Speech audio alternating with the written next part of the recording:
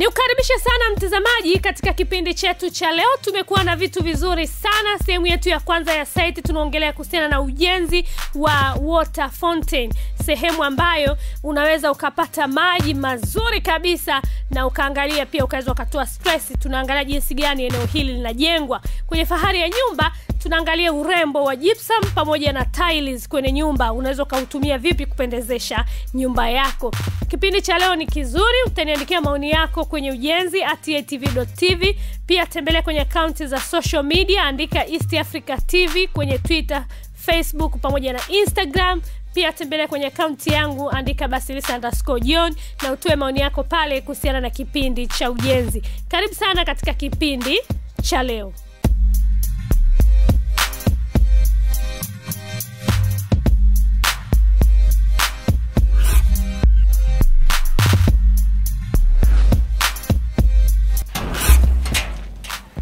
Karibu. Ah, Domi, Niambie Mambo vipi? Shwari mzima. shwari, Karibu sana. uko vizuri Niko vizuri sana. za kazi? Asante sana mshukuru Mungu. Mambo yanaenda Mungu anasaidia. mpaka wapi huko? Leo tupo na site yetu ndio hii hapa. Kwa hiyo karibu sana, nashukuru kwa ujio wako. Leo tuna kazi ya fountain leo. Mtazamaji wa kipindi cha ujenzi, karibu sana kwenye kipindi chetu cha leo, na hapa tupo site hapa na tunakuja kuangalia kuhusiana na ujenzi wa bwawa dogo la kuogelea pamoja na water fountain. Karibu sana kwenye kipindi cha ujenzi.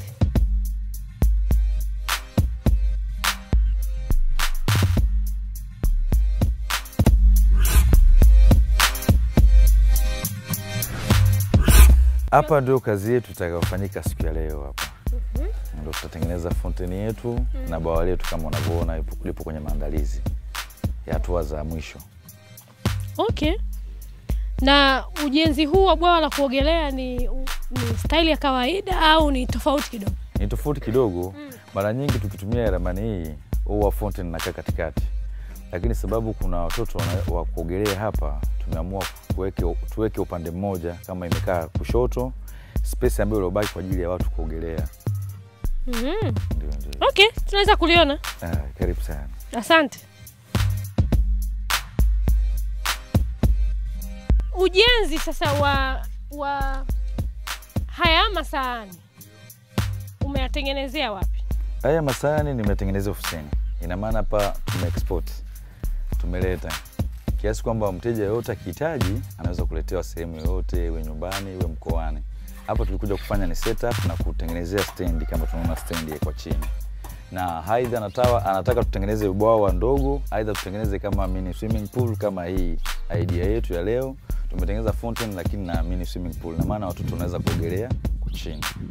Mtazamaji wa kipindi cha ujenzi, tuko site hapa na nimekuja hapa kama kazi yangu saidia fundi, nimefika nimepewa brashi na mimi nikaanza kupaka rangi, lakini kinachoendelea hapa ni kwamba ni ujenzi wa bwawa la kuogelea dogo pamoja na fountain. Eh, hii inaitwaje kwa Kiswahili do? Hii najua kuwa ni urembo wa maji. Urembo wa maji. urembo wa maji, sababu fountain zimedesigniwa kwa style tofauti. Kuna ambao wana design mawe, kuna ambao wana design samaki kama dolphin, kama Mwanza kuna sato, yote ni water fountain.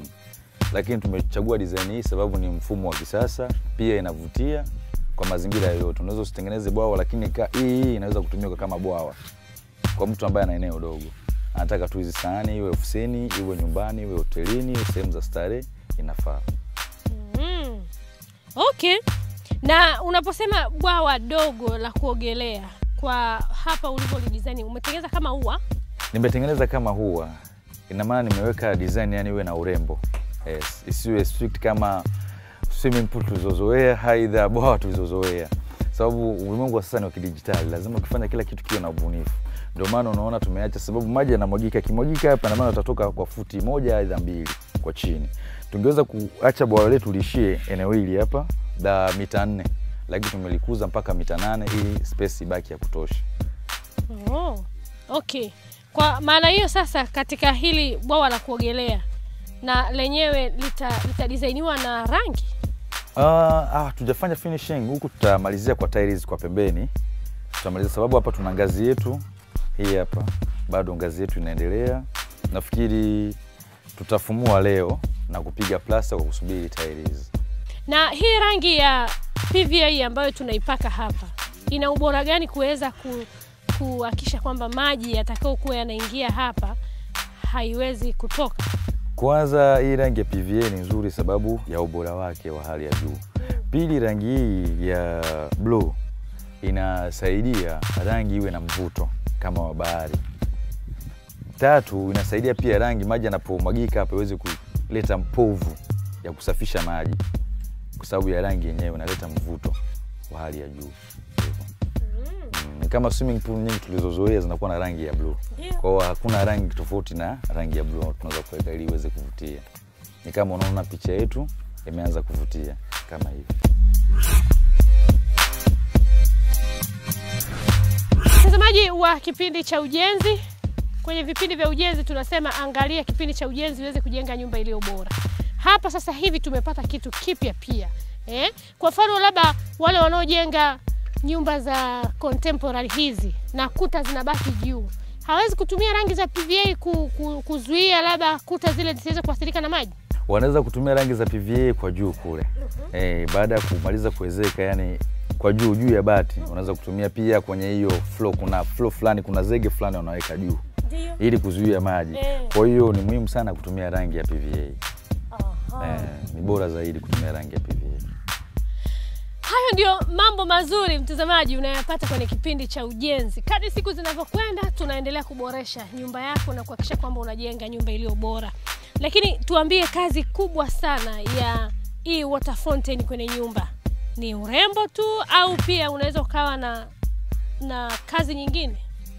Ah, kwanza niwaambie ukweli, kazi ya water fountain kwanza ni ua, pili ina refresh mind, inatoa msongo wa mawazo. Kwa mtu utakiwa na mawazo, akikaa naona maji yanavyochuruzika hapa, yale mawazo yote yana- yanapotea. Ndio maana inaweka sehemu maalum. Kwa mtu ambaye anaipenda familia yake, anaipenda anapenda vitu vizuri, hawezi kukosa water fountain. Ndio maana hata wenzetu wazungu wamepiga hatua, wametuzidi, sababu wanajua nini maana ya water fountain. Kwenye majumba, kwenye sehemu za starehe, kwenye mahoteli Kwenye garden hapa sasa ta- patakuwa pamebadilika patakuwa pamebadilika tayari, sababu hii ni hatua ya kwanza. tuko tunafanya setting ya hii kama ulivyo, tunaanza na landscaping ya kutengeneza uh, cable stone za chini, tumejaza kifusi. Baada ya hapo, tunaanza kutengeneza slab za chini ya kuzunguka, yani finishing ya hii water fountain yetu, tuweze kutengeneza bustani, tuweze kuweka udongo na kupanda maua hivyo. Kwa hiyo hii ni hatua ya pili sasa hivi. Hatua ya tatu itafata ya kuanza kufanya deko ya hili eneo na kupanda. Haya ndio mambo mazuri mtazamaji, na hapa tupo site na tunaangalia ujenzi wa bwawa la kuogelea dogo pamoja na fountain eh. Ni sehemu nzuri sana ambayo ya kutoa maji na kufanya nyumba yako ionekane ya kupendeza. Eneo hili ni nyumbani kwa mtu na ndiko kuliko jengwa, kwa hiyo sio eneo la biashara. Hata wewe pia unaweza ukajenga nyumbani kwako kitu kama hichi na kikafanya nyumba yako ikaonekana ya tofauti na ya mvuto na ya kupendeza zaidi.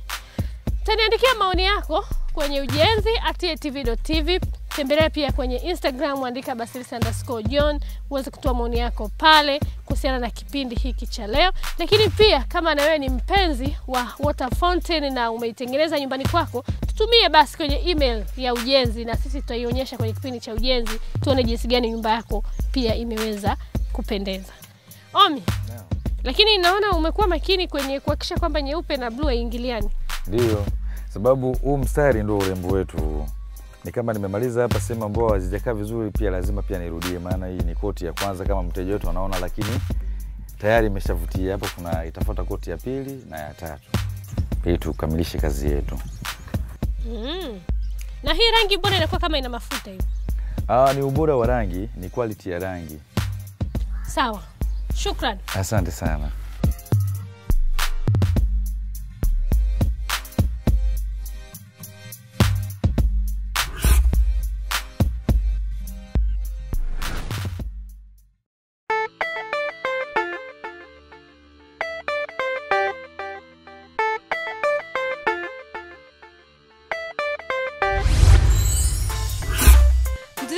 Wa kipindi cha ujenzi, na kukaribisha sana kwenye sehemu yetu hii ya fahari ya nyumba, na tunaiita fahari ya nyumba kwa sababu sasa hivi kwenye hii nyumba tuko kwenye steji ya finishing, na hapa tunaangalia decoration za muhimu ambazo zimewekwa kwenye hii nyumba. Tulikuja wakati inaanza kujengwa, mafundi walikuwa wanapiga plasta, wengine wanafunga umeme, wengine wanapaua, lakini sasa hivi wameanza steji ya finishing, na steji ya finishing ni pale ambapo tunakuta mafundi sasa wanaanza kufanya skimming eh, na vitu vingine vingi. Sasa atatuambia Fredi hapa kwenye hii nyumba mwendelezo wake sasa hivi imefikia steji gani na urembo gani wanaweka kwenye hii nyumba.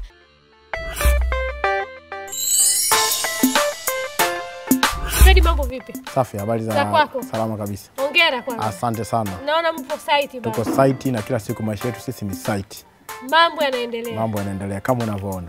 Safi. Ndio. Sasa Fredi, tulikuja hapa wakati mnajenga. Ndio, Sasa hivi mmeanza kwenye finishing. Lakini sisi tungependa kujua kwenye upande wa decoration hasa. ndio. Kwenye hii nyumba kwenye upande wa ceiling mmetengeneza decoration za aina gani? Ah, kwenye hii nyumba kwanza tumetengeneza decoration za aina tatu mpaka nne. Tume tumetengeneza decoration tofauti tofauti. Kama ukiingia master tumeweka decoration ya dunia, yani duara. Yani pale unakutana na duara ambalo linatoa rangi tofauti tofauti. Maana hata nyota kuna wakati mwingine zinafifia, zinawaka tofauti. Dunia pia ina mwonekano wa tofauti. Ukiangalia juu mawingi hayako sawa, hapa peupe, hapa peusi. Kwa hiyo tumeamua kuweka mwonekano mzuri ili kila mmoja au mteja wetu avutiwe na anapokuwa amelala anapokuwa amelala usingizi, kwa sababu akilala, akiangalia hata kama mke akimkwaza, akiangalia huko juu, roho yake inapuzika kabisa. Anayekwaza mke mume. Eh, mume akwazi bwana. mume akwazi bwana. Alafu ukitoka hapo ukienda sitting room, tumetengeneza decoration za aina mbili, kwa sababu sitting room yetu napea na dining. Ukienda dining, dining room yake imeshuka, inaonekana hii ni dining, na chini inaonekana ni ya kwa moja. Alafu ukienda sebleni, sebule yetu iko juu sana, yani kima chetu kiko juu sana. Kwa ukiangalia pale sebleni pana ua la kwake la kujitegemea, ambao lenyewe ni la aina ya matundu matatu, yani ina, ina sehemu tatu, ambayo sehemu nne inaweka taa, afu ina raundi ukiangalia upande wa kulia kwetu, ukiingia sitting room, kuna showcase ambayo tumetengeneza kwa ajili ya kuweka TV. Siku hizi sisi tunatengeneza showcase ya kutumia gypsum ambayo inaweka mwonekano mzuri. Kama unaona showcase yetu ni ya duara nzuri, imependeza. Hapo katikati tumeweka TV yako ukiwa unatazama vipindi vya East Africa TV unaangalia kupitia hii sehemu ya showcase. Mm. Eh, alafu ukirudi corridor, kiocho ni kidogo sana, lakini tukaona kiwe na muonekano wa tofauti. Ndio kama unavyoona tumetengeneza kiwe cha kawaida kizuri ambacho kitakuwa kinaweka taa, na hizi molding za pembeni ni kwa ajili ya kuweka mwonekano wa nyumba iwe mzuri. Okay. Na kingine sasa kwenye ndani kule tunaona pia mme, mmeweza ku, kutengeneza urembo huu wa gypsum ni kwa kila chumba. Hapana, chumbani, vyumba vingine tumetengeneza, tumepiga gypsum ya kawaida, tumefanya skimming nzuri, lakini pia kama unaona material yetu bado yanaendelea, tunataka tufunge mikanda. Mikanda sisi tunatengeneza wenyewe kwa kutumia super sina na katani.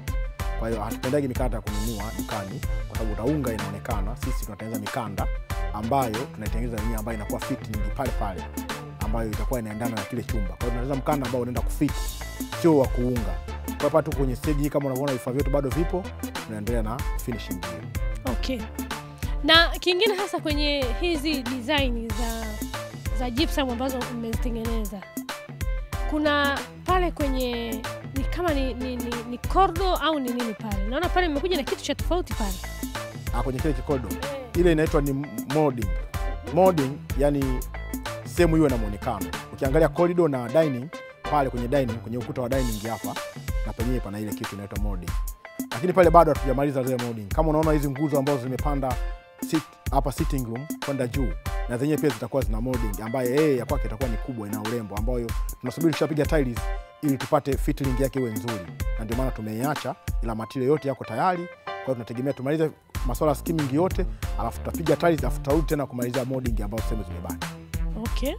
Sasa kwa upande wa nje, naona kwenye upande wa nje kwenye kuta ya hapa mbele mmeanza kuweka sample ya design ya tiles. Hii imekaaje na tiles inaenda mpaka katika eneo la ukubwa gani? Kwa mfano ukiangalia hapa mbele tiles yetu itakuwa hapo unapoona, na sehemu ya kibaraza hii varanda unapoingia hii sehemu yote itakuwa na tiles, lakini haitakuwa na muonekano huu, itakuwa na muonekano mwingine. Kwa hapo mbele patakuwa na tiles za aina mbili za ukutani ambazo zitakuwa zina muonekano wa tofauti. Kama unavyoona hii tumeanza nayo na hii inapigwa kipande hicho ambacho umekiona, lakini kutakuwa na rangi zake ambazo zitapiga kwenye hivi vidimu ambao unaviona, itakuwa na rangi za tofauti ambazo zitakompea na hizo tiles tumepiga hapa. Mm. Okay, na kwa nini mmechagua tiles za mawe? Ah, tumechagua tiles za mawe kwa sababu tiles hizi ambazo sio za mawe mara nyingi huwa haziendani na jua. Ukuta huu muda wote, wakati wa jua itakuwa na jua, wakati wa mvua itakuwa na mvua. Hii tiles muda wote inakuwa iko iko hot, yani inakuwa imeng'aa kwa sababu yenyewe ina, inakuwa ina, ina, ina stili kwa sababu ni jiwe, kwa hiyo inavumilia ile hali yote ya jua na mvua.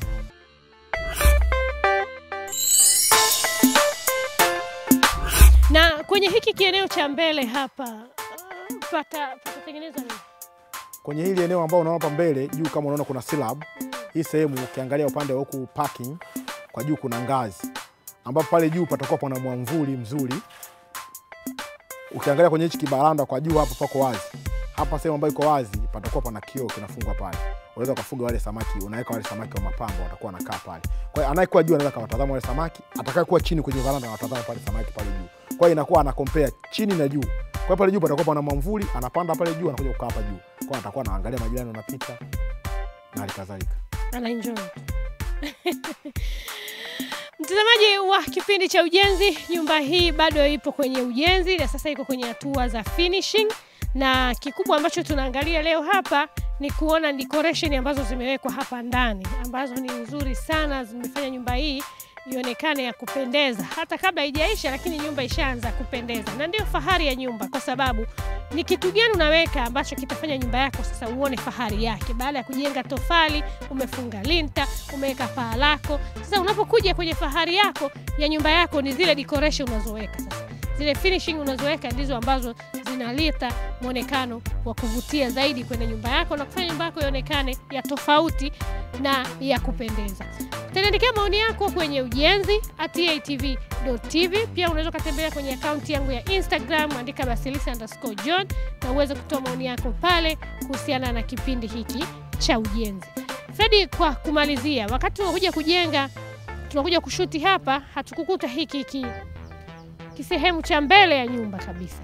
Eh, kwanza hii decoration hapa design yake ikoje na finishing yake itaonekana vipi? Unajua nyumba ambayo tumeijenga hapa ni nyumba nzuri. Mimi pia najivunia katika kazi ambazo nimefanya na najivunia katika kazi ambazo ziko ziko yani ziko special. Hii ni special kwangu kwa sababu tumefanya kwa ufanisi, kushikana na mafundi wenzangu na wote tulikuwa kitu kimoja. Hata kama mimi nilikuwa ni mkubwa, lakini ni tunaeleweshana, jamani, hapa tumekosea, hapa tuko sawa, hapa tufanye hivi, na mambo mengine yanaendelea. Na uzuri wake bosi wetu anashaurika, yani ukimwambia hiki akipaki, hapana, ni anaelewa, hiki sawa. Unajua kuna watu wengine unawajengea wao, wanataka maamuzi, hata kama ni kibaya, anakwambia fanye, mimi ndo nataka hivyo, hata kama unaharibu, afu baadaye akiharibu analalamika pembeni. Kwa hiyo mimi nashukuru katika nyumba hii nimepewa nafasi kubwa ya kufanya maamuzi kama fundi na kushauri pale napoona pako tofauti. Kama unavyoona hapo getini, hii ni geti, ni main gate ambayo ni ndio geti kuu ambayo watu wanaingia ndani. Sasa kama nyumba ndani ni nzuri, alafu main gate iwe mbaya, bado tulikuwa tujafanya kitu chochote. Kwa hiyo muonekano wa nyumba unaanzia wapi? Geti. Unaanzia getini. Kwa hiyo mtu anapokuja alikuwa anataka kutoka anakotoka, akifika akiface to gate, anajua hapo anapoingia ni the best. Kwa hiyo tunaamini hapa getini, nafikiri patakuwa the best zaidi kushinda hata ndani. Mtazamaji, endelea kuangalia kipindi cha ujenzi East Africa TV. Tuko bado, tutaleta mwonekano wa hii nyumba. Tumeona mwanzo ulivyokuwa, sasa hivi tuko katika steji ya finishing inaendelea. Tukimaliza utaweza kuiona na wewe, utaiba vitu vichache, sio vyote, lakini nawe unaweza ukafanya nyumbani kwako na nyumba yako ikapendeza zaidi, na hata ukafanya ubunifu mwingine tofauti na huu ambao tumekuonyesha leo. Lakini nia ni kuhakikisha kwamba unapojenga nyumba sasa hivi, jenga nyumba ya kisasa ambayo inakwenda na wakati. Nafikiri watazamaji mkiangalia East Africa TV mtaenjoy, mtafurahi kupitia fahari ya nyumba, kwa sababu kuna mafundi wazuri, wabunifu na wana uwezo mkubwa, ikiwemo mimi Fredi Mapunda. Wanayeniweza kunipata, nafikiri namba zangu za simu ni 07 18 42 85 69. Kwa mtandao wa Voda ni 07 0767 57 92 68 lakini kwenye mitandao mingine ya kijamii facebook unapatikana kwa jina la Fred Mapunda. Huko utatazama kazi zangu, lakini kama ni ngumu zaidi, muone dada Basilisa, yeye atakupatia mawasiliano yangu vizuri sana. Asante sana, Shukrani sana. asante, nashukuru. Shukrani.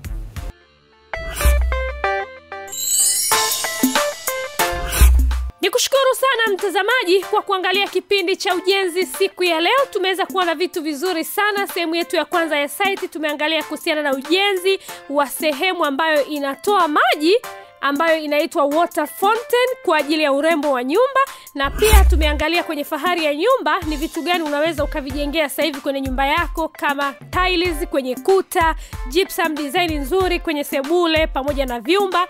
Yote hiyo inasaidia kuongeza urembo wa nyumba yako. Wiki ijayo katika kipindi cha ujenzi tutakuwa na vitu vizuri sana hapa. Tutaangalia jinsi ya kupaua nyumba ya kisasa na isiweze kuvuja. Tutaangalia upigaji wa kenchi unapigwa vipi ili kuhakikisha kwamba paa linakuwa na mlalo mzuri na nyumba yako haitaweza kuvuja. Na kwenye fahari ya nyumba tuko na mwanamke ambaye atatuonyesha ni jinsi gani sasa hivi urembo unaojengewa kwenye nyumba za kisasa unaweza ukabadilisha mwonekano wa nyumba yako. Mambo yote hayo ni katika kipindi cha ujenzi wiki ijayo. Nikutakia utazamaji mwema wa vipindi vinavyoendelea hapa East Africa TV. Utaniandikia maoni yako kwenye ujenzi at. Pia tembelea kwenye akaunti zetu za social media, andika East Africa TV kwenye Twitter, Instagram pamoja na Facebook. Pia unaweza ukakipata kipindi hiki kupitia YouTube ya East Africa TV, na pia tembelea kwenye akaunti yangu, andika Basilisa uweze kutoa maoni yako pale kuhusiana na kipindi cha ujenzi, na kutakia siku njema.